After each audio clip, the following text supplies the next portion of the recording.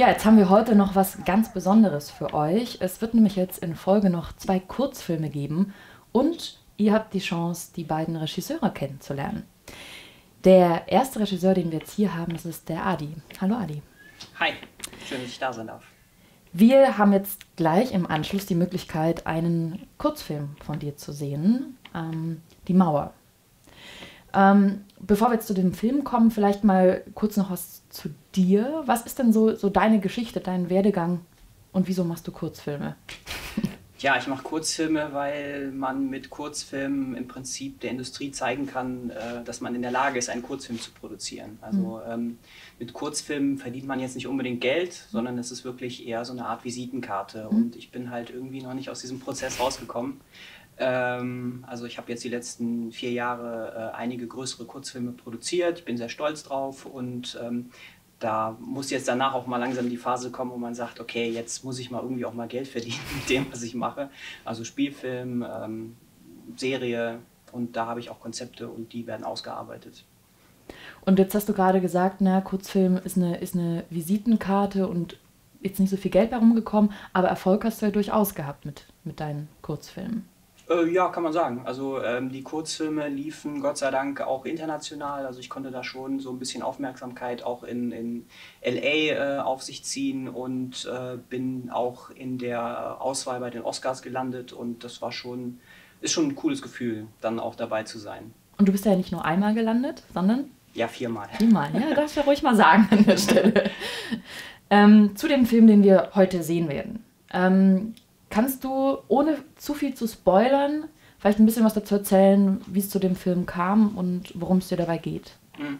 Also ich wollte in erster Linie etwas Historisches machen, also ähm, und äh, wollte das Ganze aber auch mit so ein bisschen meiner eigenen Familiengeschichte verbinden, weil wir sind übergesiedelt von Polen nach Deutschland, also von Ost nach West und irgendwie hat mich diese Geschichte halt getrieben, eine ähm, eine Figur zu erzählen, die von Ost nach Westdeutschland übersiedelt mhm. und gleichzeitig halt ähm, in diesem neuen Leben sich eine Art Lügenkonstrukt aufbaut, mhm. eine Mauer. Und das Ganze hat dann aber auch was mit der Berliner Mauer zu tun mhm. und mit der Stasi und wie das im Grunde genommen zusammenhängt. Dafür muss man natürlich dann den Kurzfilm gucken. Aber es ist, eine, es ist ein Drama, es ist eine emotionale Geschichte, es ist eine Familiengeschichte und ähm, ich denke, es hat eine schöne Auflösung. Okay, das heißt, ich kann mich auf Spannung einstellen, aber auch auf eine schöne Auflösung am Ende. Das äh, ist der Plan, ja. Ja, dann vielen Dank und ich wünsche euch ganz viel Spaß bei dem Film.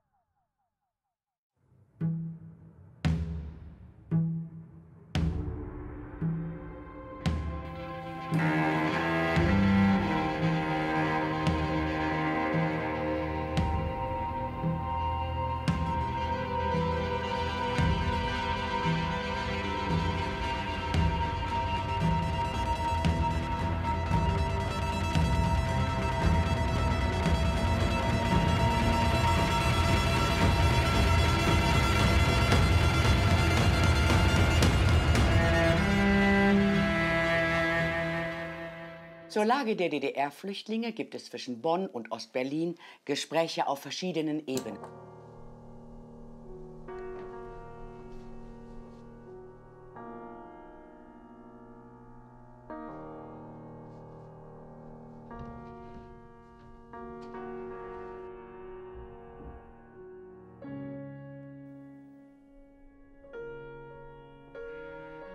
Liebste Eva, ich habe das Gefühl, ich habe dich und Paul im Stich gelassen. Ich weiß, hierher zu kommen war die richtige Entscheidung, aber ohne euch fühle ich mich so unglaublich allein. Ich spreche die gleiche Sprache, ich trage die gleichen Sachen, aber ich bin nicht mehr als ein Fremder, ein Flüchtling. Ich vermisse euch, euer Frank.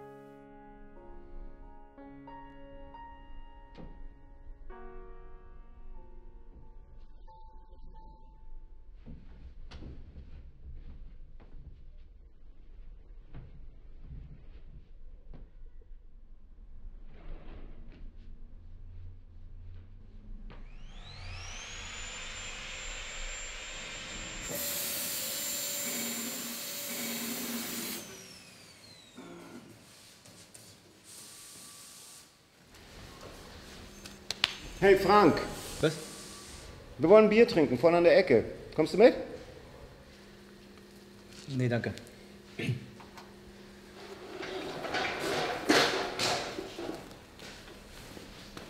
Ossi kommt nicht mit? Ossi kommt nicht mit. Ach, die ist ja eh nur Rindergalle gewohnt.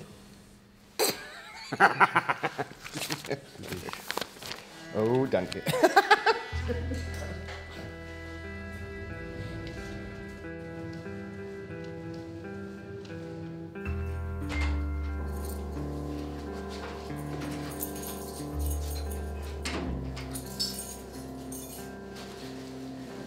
Liebe Eva, Berlin ist groß.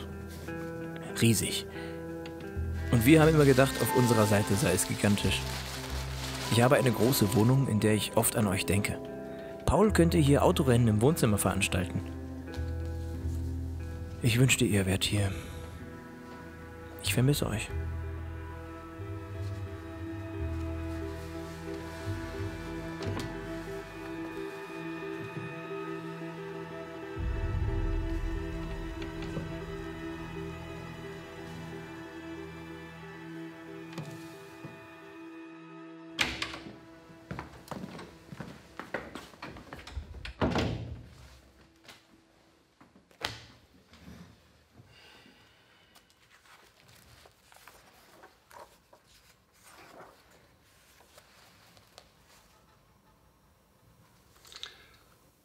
Herr Kraft,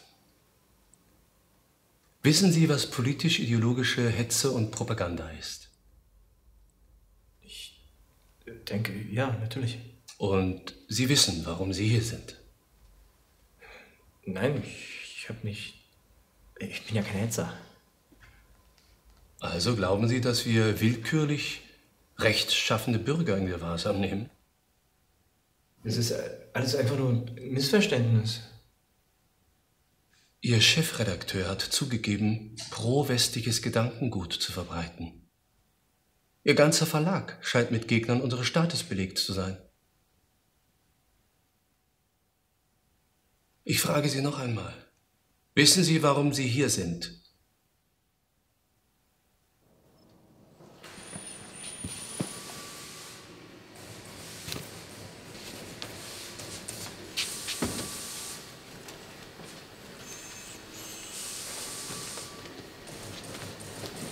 Gibst du mir mal die 684 da vorne? Danke. Ich bin Sabine. Frank. Du bist seit ein paar Monaten hier, oder? Hm? Von drüben. Wer sagt das? Aber man hört so einiges.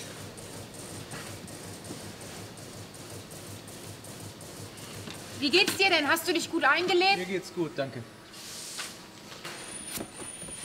Wenn du schon keine Lust hast, mit deinen Kollegen eintrinken zu gehen, hast du nicht Lust, mit mir nachher im Park spazieren zu gehen? Welcher Park? Na, im Stadtpark, am Ende der Straße. Wozu? Da schmeckt die Stulle besser. Ein bisschen Frischluft tut da vielleicht auch mal ganz gut. Okay. Gut. Ähm, gib mir ein paar Minuten. Wir treffen uns dann am Ausgang 6.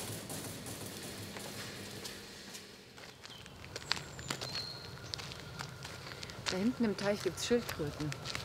Wenn die Sonne scheint, dann liegen die da hinten auf den Wurzeln.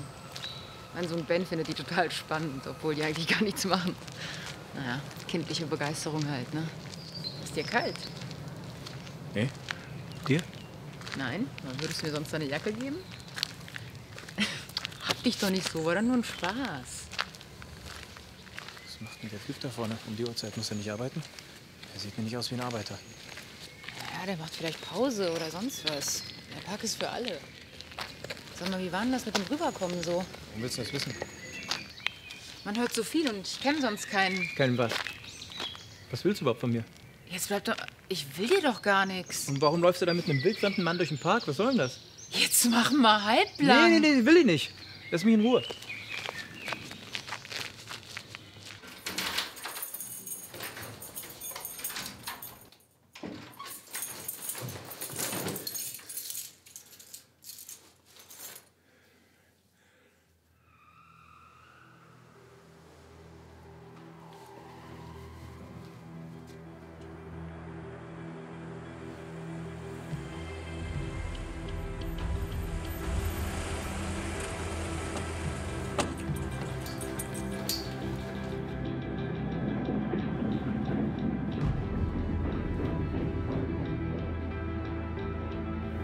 Liebste Eva, je länger ich hier bin, umso schlimmer wird es. Ich glaube, ich werde beobachtet oder ausgehorcht. Oder getestet. Es zerreißt mich schon genug, nicht bei euch zu sein, aber jetzt auch noch das. Wann hört das auf? Nennen Sie mir noch einmal die Namen aller Mitarbeiter Ihres Verlages. Wie oft soll ich es Ihnen dann noch sagen? Die Namen, Häftling 117. Chefredakteur Benedikt Lehmann, Maximilian Scherb, Ernst Ludwig, Max Kirchner, Dennis Förster. Wer sympathisierte mit Herrn Benedikt Lehmann? Ich weiß es nicht, ich war noch nicht so lange im Verlag. Sie haben hier eine Möglichkeit, sich zu entscheiden. Für den Sozialismus. Für unser großartiges Land. Oder Sie entscheiden sich dagegen. Dann sind Sie ein Verräter. Möchten Sie das sein? So oder so, Sie werden sich den Dingen stellen müssen. Am Ende finden wir alles heraus.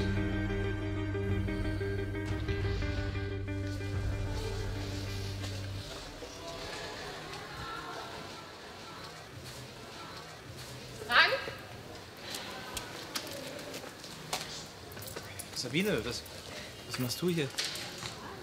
Wir haben dich gesehen, wir wollten gerade einkaufen gehen und da dachte ich, ich stell dir Ben vor. Du erinnerst dich? Ähm, nee. Ja, du bist mir ja ein toller Zuhörer. Bist du mir gefolgt? Sagst du jetzt Hallo? Das ist Ben, mein Sohn. Ben, das ist Frank, mein lieber netter Arbeitskollege, der ein bisschen einen an der Klatsche hat. Hallo. Hallo. Und wir gehen jetzt einkaufen. Ja, aber ich, ich war ja gerade. Bananen und einen Liter Milch für die ganze Woche? Tut mir leid, aber das kann ich als gute westdeutsche Mutter nicht durchgehen lassen. Komm.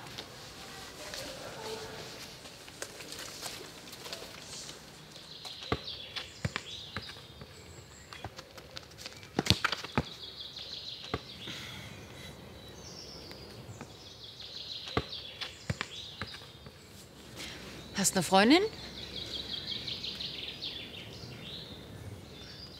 Magst du Menschen nicht oder so? Mich? Magst du mich?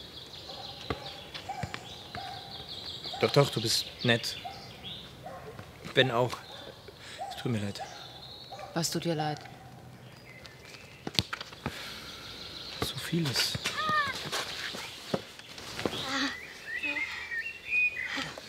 So, oh, was das nicht macht. Hm, Moment. Mike? Mal hier. Da fliegt das Aua. Warte, ich dir das ab. Ja. Mhm. Okay. Zeig mal deine Hände. So schmutzig, ne? Machen wir nachher sauber. Oder willst du schon gehen? Nee. Auf geht's.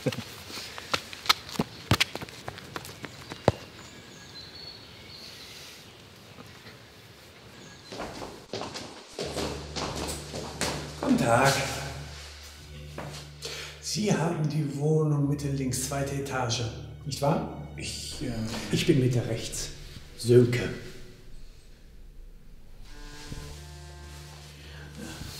Ich entschuldige mich, dass es lauter geworden ist. Hm? Mein Bruder und seine Familie sind für ein paar Tage zu Besuch und da sind die Kinder etwas lauter. Wir wissen ja, wie Kinder sind. Haben Sie Kinder? Nein, ich bin allein. Naja, kommt Zeit, kommt Rat, wie ich immer sage. Noch einen schönen Tag.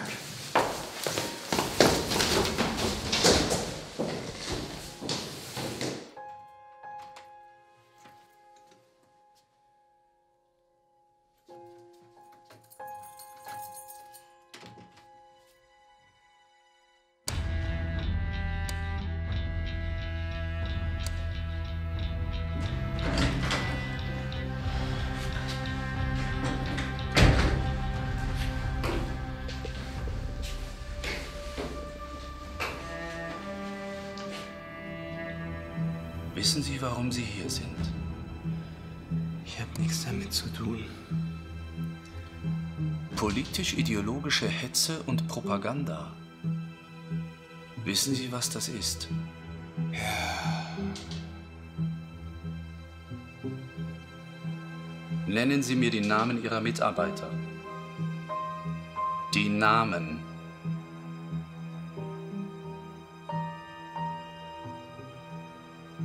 Max Scheer, Lud Ludwig Ernst, Stulpe Manfred. Ja. Dennis Scheer.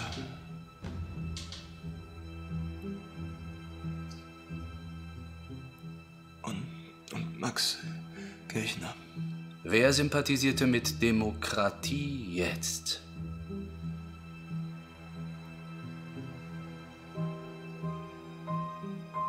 Da kommt ein Pappsack nach Hause. Habe ich Sie nach Ihrer Meinung gefragt? Nein, aber ich. Dann halten Sie die Klappe. Das hat alles ein Ende, wenn Sie die Wahrheit sagen.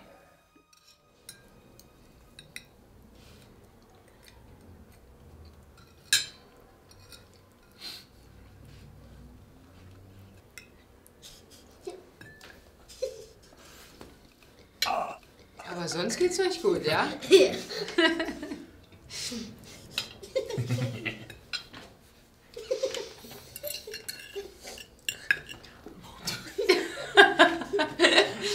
Jetzt ist aber gut. Möchtest du auch stehen, Ben? Ja. Okay. Danke für den schönen Abend. Das hat gut getan, so ein Abendessen mit einem anderen Erwachsenen. Wer ist denn hier erwachsen? Ben gefällt's dir auch. Er mag dich. Weißt du, bislang hat sich noch nicht der Richtige gefunden, der Lust hatte, Papa zu spielen. Seitdem Uwe tot ist, ist alles nicht so einfach. Es Er wurde verhört.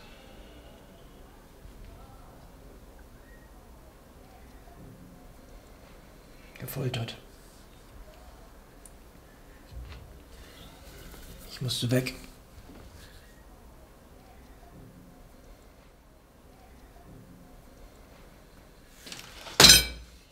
Ben!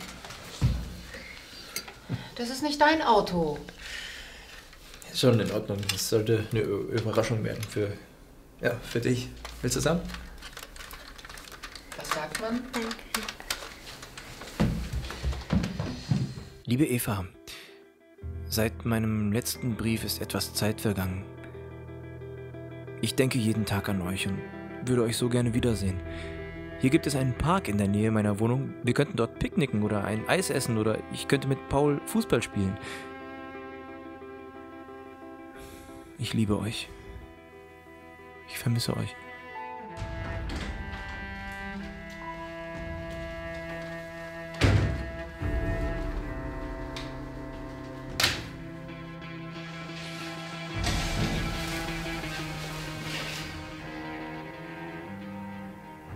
Ich muss Ihnen leider mitteilen, dass Ihre Frau und Ihr Sohn bei einem Autounfall ums Leben gekommen sind.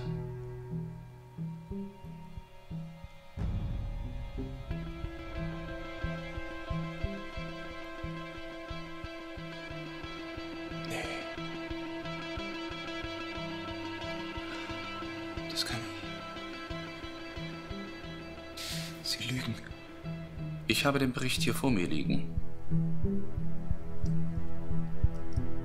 Außerdem hat einer Ihrer Kollegen gegen Sie ausgesagt. Chefredakteur Benedikt Lehmann.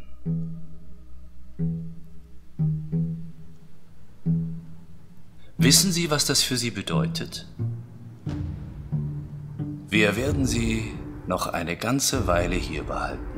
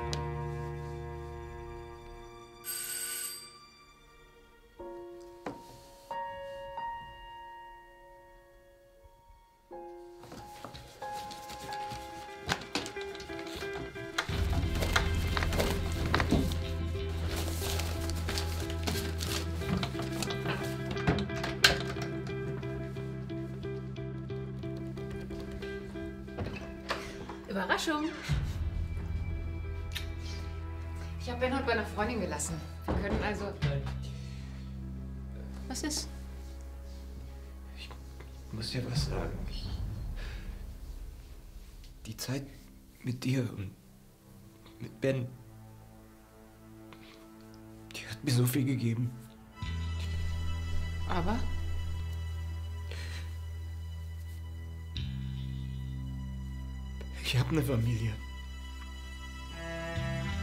Ich, ich wollte das schon viel früher sagen, aber ich.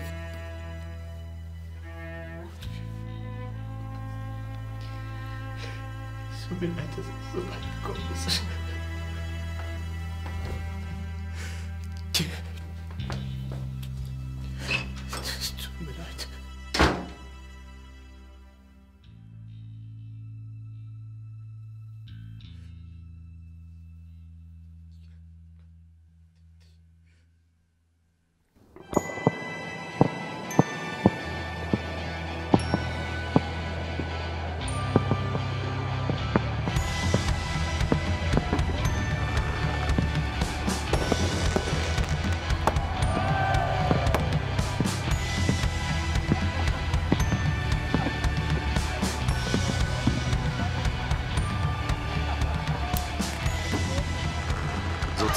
Die am stärksten gesicherte Grenze der Welt am Ende, weil eine Handvoll ihrer Bewacher sie nicht mehr schützen konnte gegen das Volk und nicht mehr schützen wollte.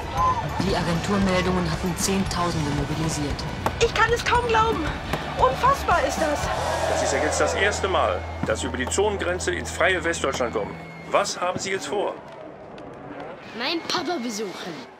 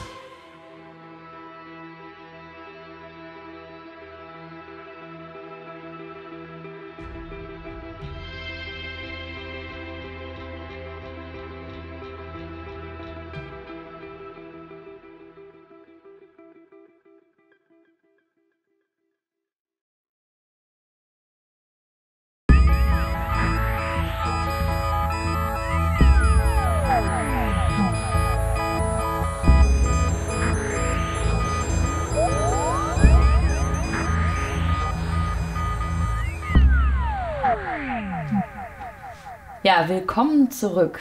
Ihr habt jetzt gerade die Mauer gesehen und habt jetzt noch die Chance, einen zweiten Kurzfilm zu sehen. So Gott will. Und der Regisseur dazu, der sitzt mir jetzt gegenüber, das ist der Tommy. Hallo Tommy. Hi, freut mich. Vielleicht auch ein paar Worte zu dir. Also was ist so dein, deine Geschichte? Warum machst du Filme und warum auch Kurzfilme? Also, ähm, ich kann mich da an das anschließen, was der Adi vorhin schon gesagt hat. Wir haben sogar in der gleichen Akademie studiert, an der Mhm. Ruhrakademie. Ähm, ich habe einfach Leidenschaft für Film entwickelt und also für mich entdeckt und wollte das dann machen. Hat aber bei mir einige Zeit gedauert, bis ich es gemerkt habe. Mhm. Ich komme eigentlich aus der Unternehmensberatung. Mhm. war in dem Bereich dann tätig, so im Gesundheitswesen und ähm, habe dann bei mir einfach gemerkt, dass irgendwas fehlt. Dann habe ich alle Zelte abgebrochen, habe erstmal als Barkeeper gearbeitet, um mich selber zu finden und bin dann auf einen Kollegen gestoßen aus dem Abi, der Filme macht oder irgendwas, den, der als Mediengestalter gearbeitet hat. Dann haben wir entschlossen, das erste Drehbuch zu schreiben und den ersten Kurzfilm zu machen und von da an wusste ich, hey, das ist das, was ich machen will. Und wie viele Jahre sind das jetzt dann schon seit dieser Umentscheidung? Ich, mit, ich bin jetzt 37 und ich habe mit 28 angefangen zu studieren. Ja. Also ich habe dann von 28, ich habe irgendwie viereinhalb Jahre, habe ich dann Filmregie studiert Mhm. und seitdem arbeite ich als freier Filmemacher. Und dieser Film jetzt So Gott will, ähm, was ist die Geschichte zu dem Film? Also auch hier Vorsicht, nicht zu viel spoilern, aber warum sollte ich den Film vielleicht anschauen und was willst du damit erzählen oder wie kamst du da drauf? Okay. Also äh, in dem Film geht es generell um ähm, die eigene Freiheit. Mhm. Also welche Entscheidungen man treffen muss, um wirklich frei zu sein. Ähm, es geht halt um zwei Menschen, die grundverschieden sind und sich zufällig in einer Nacht begegnen Mhm. und beide halt vor einer großen Entscheidung im Leben stehen. So viel dazu. Das Interessante bei So Gott will ist, ähm, als ich angefangen habe, Filmregie zu studieren, im ersten Semester war, ähm, habe ich alle Inhalte, die ich äh, gelernt habe, die habe ich direkt angewandt auf eine Webserie, an der ich gearbeitet habe. Und ähm, das Ganze ist dann sehr, sehr groß geworden. Und ich habe angefangen, den einzelnen Figuren Backstories zu schreiben. Mhm. Ähm, das ist halt ein Ensemblestück aus acht bis zehn Personen Mhm. sozusagen. Und ähm, So Gott will ist quasi die Backstory von einer dieser Personen. Ja, das ist daraus geworden. Also wenn man einfach anfängt an Charakteren zu arbeiten. Das heißt aber auch für die Menschen, die jetzt den Film schauen und geschaut, oder geschaut haben dann später ähm, und die sagen, ich interessiere mich jetzt aber irgendwie noch äh, für den Rest. Also wenn das jetzt die Backstory ist, wo, wo können die das sehen? Die Deine? müssen mir dann die Daumen drücken, dass ich äh, diese Webserie oder diese, diese Serie ähm, irgendwann mal produzieren werde, realisieren werde. Okay, also Daumen drücken da draußen. Dann vielen Dank fürs Gespräch Gerne. und euch ganz viel Freude mit dem Film.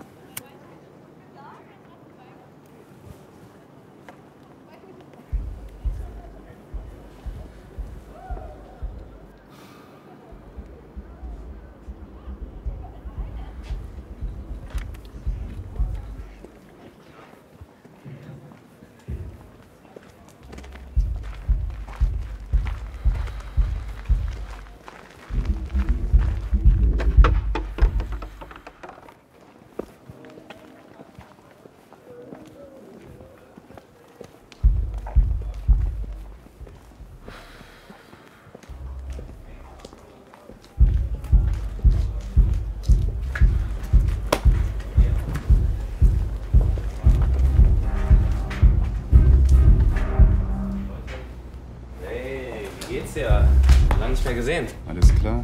Alles gut?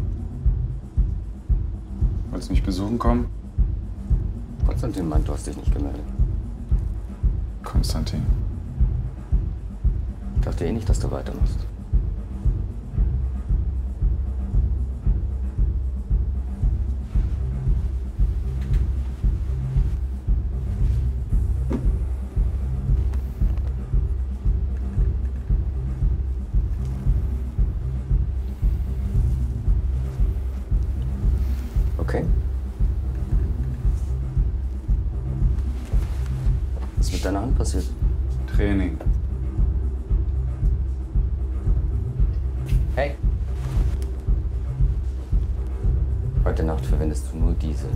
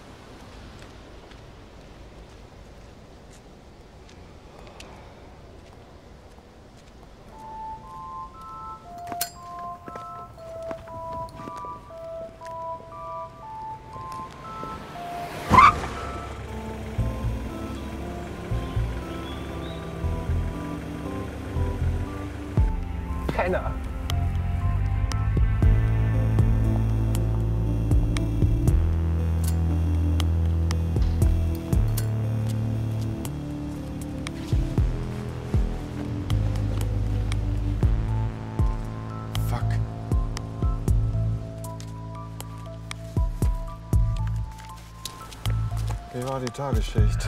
Wie soll es schon gewesen sein? Mann? Flughafen. Ich weiß nicht, wo die- Gut. Hören Sie, fahren Sie mich zum Flughafen, bitte.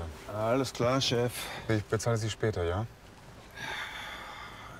Ich kann die zur Bank fahren, da können Sie Geld abheben, okay? Mir wurde mein Portemonnaie gestohlen. Ja und? Schauen Sie mal da vorne, die U-Bahn fährt direkt zum Flughafen. Sie haben Glück, die letzte fährt gleich in zehn Minuten.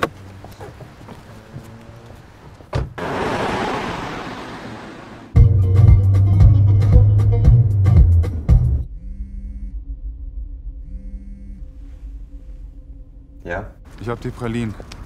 Ungeöffnet. Ja. Ich muss die Bahn nehmen. Was ist passiert? Mir wurde mein Portemonnaie gestohlen. Und was ist mit dem Code? Habe ich im Kopf. War irgendwas im Portemonnaie dran? Ja, nein, alles sauber.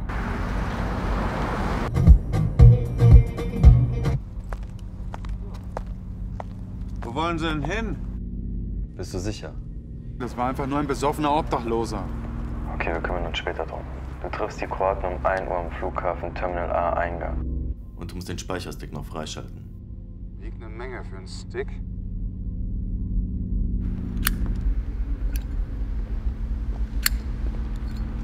Der Stick hat einen Sicherheitsmechanismus. Nach 24 Stunden werden alle Daten gelöscht. Rafa, es ist einfach. Du übergibst den Stick, schaltest ihn frei und verpisst dich wieder. Keine Diskussion, keine Ablenkung. Und so Gott will, bist du da schnell wieder draußen. Gott hilft nur denen, die sich selbst helfen. Ist aber ein bisschen so gläubig geworden. Ach ja, und noch was. Du öffnest das Paket erst kurz bevor du dich mit den Kroaten triffst. Hast du verstanden? Warum? Tu's einfach. Und pass auf, dass dir keiner folgt.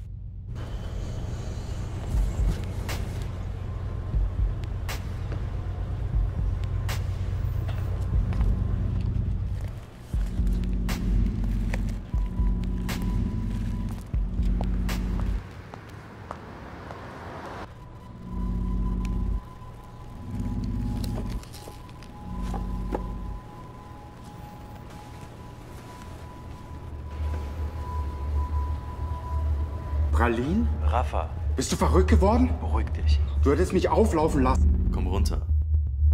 Verdammt, Konstantin, wenn man mich mit einer Waffe erwischt, dann bin ich gefickt. Du bist hier nicht auf Bewährung. Hör zu. Nein, ich werde die Waffe auf gar keinen Fall benutzen, auf gar keinen Fall. Sie ist nur zu deinem Schutz. Nein. Nein, nein, ich dachte, der Auftrag wäre sicher. Dein Fehler beim letzten Auftrag hat uns viel gekostet. Und dich auch. Du hast heute die Chance, deine Schulden zu begleichen. Versau das nicht.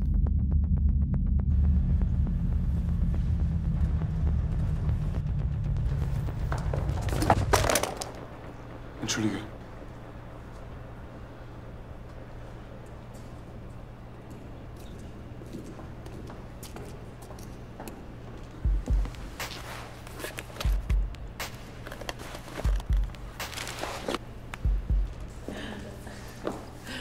Aber ey, wann kommt denn die Uma?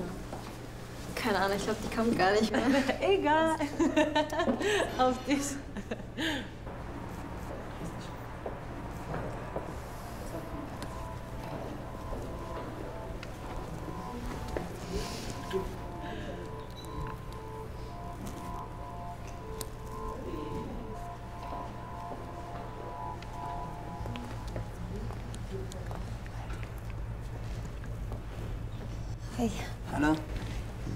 Die Bahn zum Bahnhof? Die nächste Bahn fährt zum Bahnhof, ja.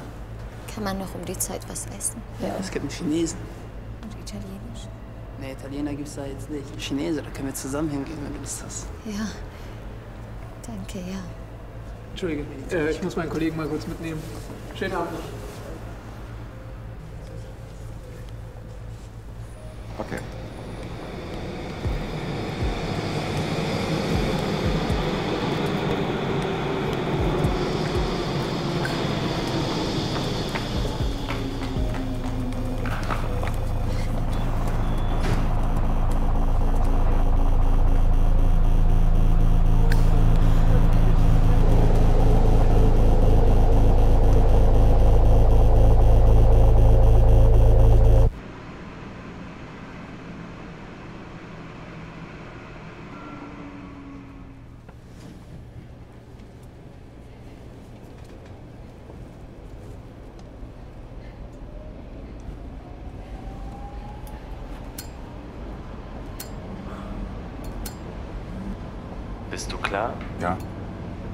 Gut. Was haben die Kroaten mit den Infos vor? Seit wann interessiert dich sowas? Keine Ahnung, was die drin mit dir gemacht haben. Aber Rafa, besser du kommst wieder auf die Spur. 1 Uhr Übergabe am Flughafen. Enttäusch mich nicht.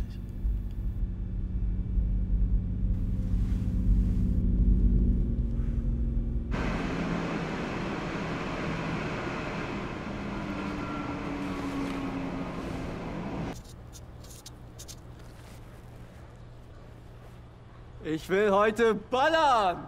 Mit deiner Hand oder was? Haha, sehr witzig! Ich hab noch was für euch! Ja, gefällt euch das? So ein Opfer, der Typ. Nee.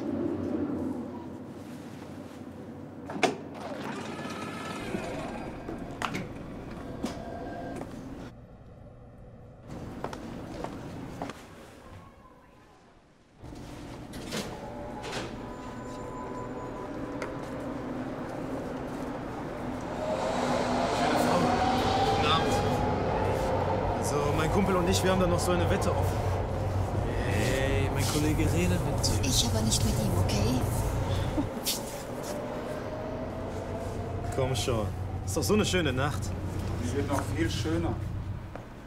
Na, Schatz, wie geht's dir? Alles gut?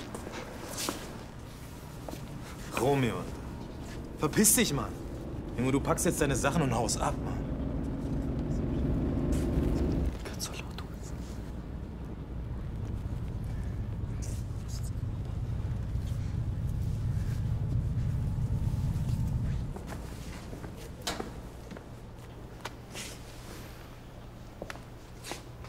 Alles in Ordnung bei dir?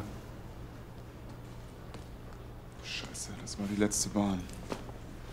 Warte, ich mach kurz einen Anruf. Scheiße!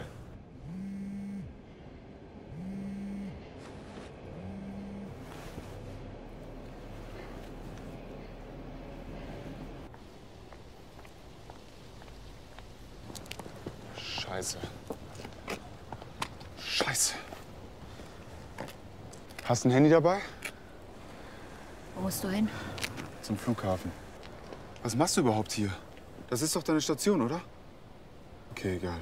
Ich finde schon irgendwie zum Flughafen. Hat mich gefreut. Pass auf dich auf.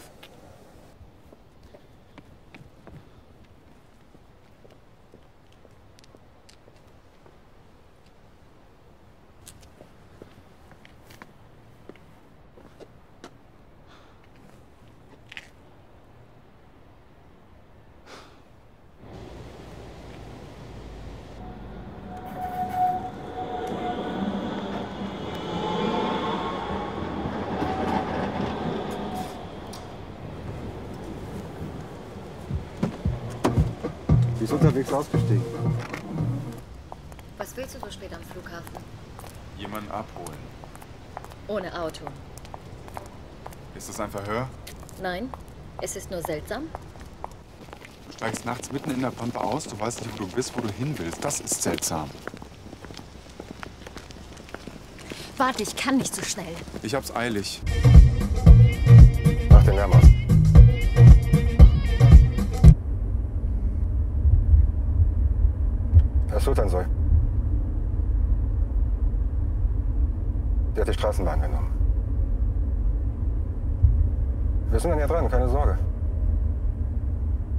Herr Sultan. Herr.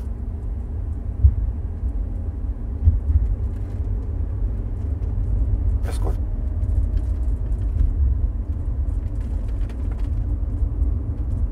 Hattest du mich nun verbannt? Du bist sehr aufmerksam. Was ist mit deiner Hand passiert? Ach, nichts. Hat mich geschnitten. Darf ich mal sehen? Was waren das eigentlich für Typen? Sind wir hier bei einem Verhör? Schau. Dort ist eine Tanke. Dort mache ich einen Anruf und dann holt uns jemand ab. Ich werde am Flughafen abgesetzt. Und du musst dem Fahrer nur sagen, wohin du willst.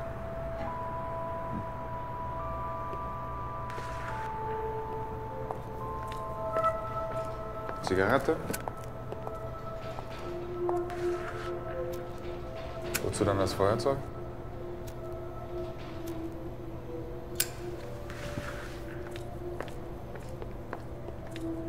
Was ist das für ein Feuerzeug? Eins, das Feuer macht. Scheinbar nicht. Darf ich mal sehen? Ich gebe sie auch zurück, versprochen. Raphael.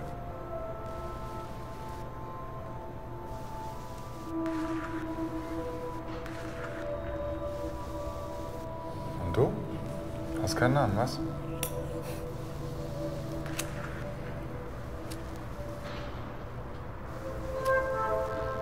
Das ist kaputt.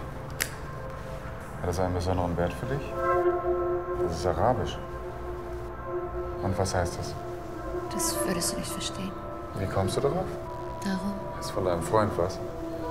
Gib's her. Gib's her!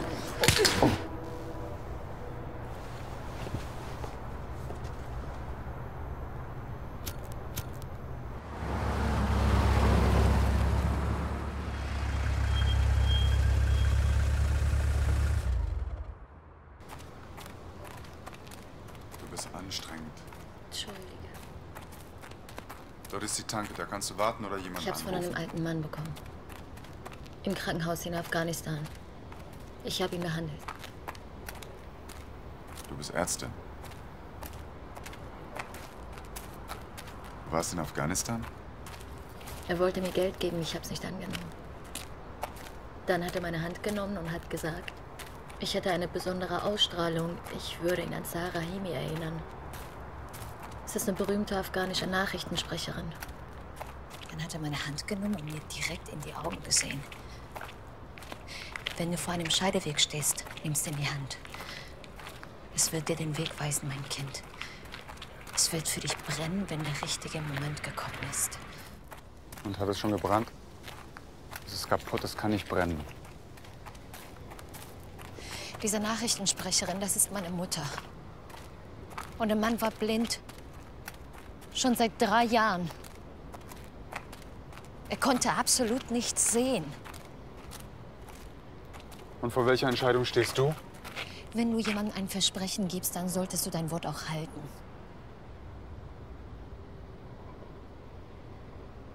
Nicht? Schon gut. Jemand, der einen schlecht behandelt, dem ist man nichts mehr schuldig. Ja, wir haben alle unsere Verpflichtungen. Glaubst du?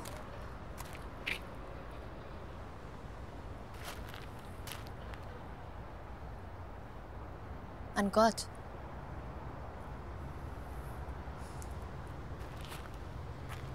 Ein Schicksal. An irgendwas. Wir gehen. Schon gut. Taxi! Raphael, wir gehen. Jetzt!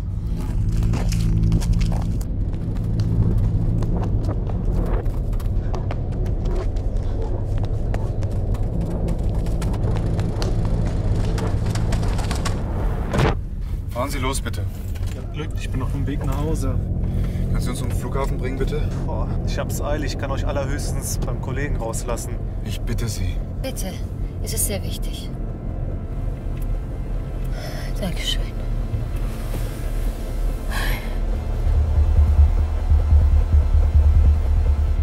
Wer sind die? Freunde von meinem Mann. Und was wollen die von dir? Sie machen nur, was ihnen aufgetragen wurde. Von deinem Mann. Von meinem Mann.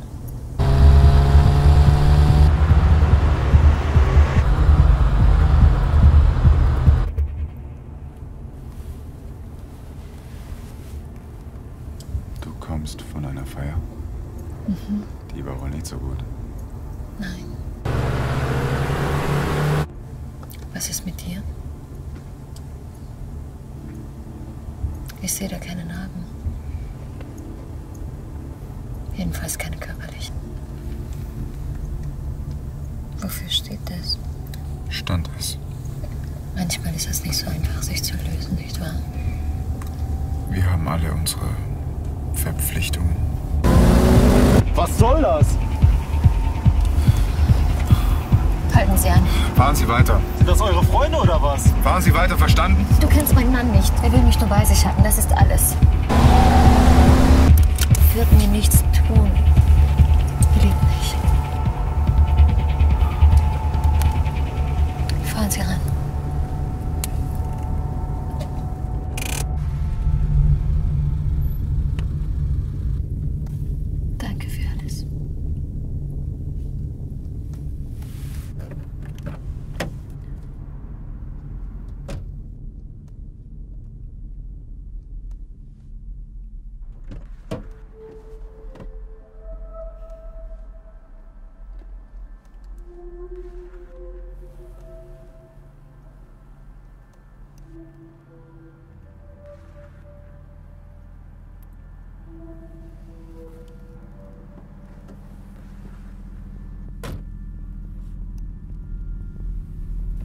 Flughafen? Ja.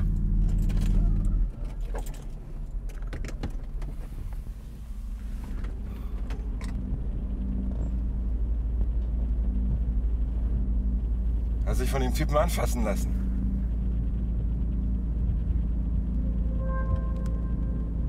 Lasst die Finger weg von solchen Frauen.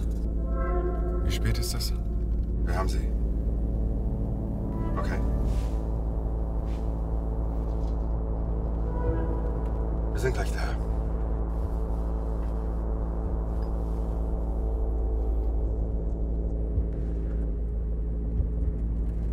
Besser, du legst das jetzt an. Nein, Jasmin. ich will das nicht. Jasmin, das ist mir egal. Du legst das jetzt an. Lass mich in Ruhe. Du legst das jetzt an. Ich will das aber nicht. Jasmin. Ich will das Du legst nicht. das Lass mich in jetzt Ruhe. Lass mir das Scheiß auf! Kannst du Arabisch? Ja. Was steht da? Inshallah. So Gott will.